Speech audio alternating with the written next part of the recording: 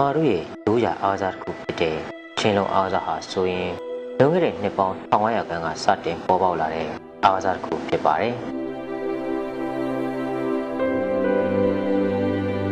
ချင်းလုံးအားစားဟာဒီနေ့ခေတ်ဒီတိုင်အောင်မြန်မာလူမျိုးများနှစ်သက်မျက်နှိုးတဲ့ရိုးရာအမွေနှင့်အားစားတစ်ခုလည်းဖြစ်ပါတယ်မြန်မာရိုးရာချင်းလုံးအားစားကိုမကွေမပြောက်တော့ထိမ့်သိမ့်ပေးရမှာလဲ ကျွန်တော်တို့မြန်မာလူမျိုးများရဲ့တာဝန်တစ်ခုပဲဖြစ်ပါတယ်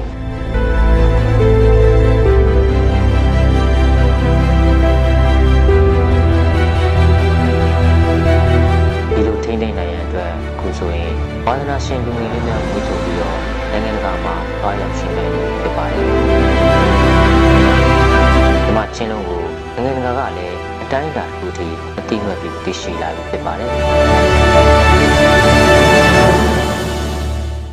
My name is Ruben. I'm from the Netherlands, 27 years old. It's really an energetic game. So like uh, you really am forced to, to do crazy tricks and people cheer when you do a nice trick and I like the interaction between the players and yeah, it's nice. Like uh, obviously the ball, the ball is way lighter and it's, it's so it's easier to, to keep it up, to keep it in the air. Obviously you have to football you have to score in a goal and here it's you have to get the ball over the net and you have to keep the ball up and between your teammates and then give it over the net like in badminton and then you have to score on the other side of the field. Um,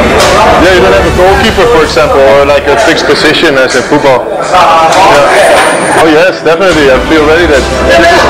my first time playing right now and I feel like I'm already getting better after 30 minutes so no, I really like it. It's a fun game. Alright, thank you. I'm from the Netherlands. I love that it's uh, you're all the same team.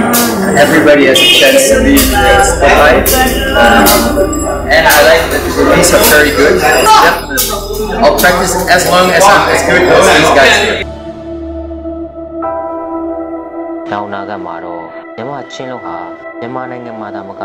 ကမ္ဘာကိုပါထိုးဖောက်လာနိုင်မဲ့မြန်မာရိုးရာအားစားတစ်ခုဖြစ်ပါကြောင်း Annie Review Channel မှာဂုဏ်ယူစွာဖြင့်လက်ကူးတင်ဆက်ပေးလိုက်ပါတယ်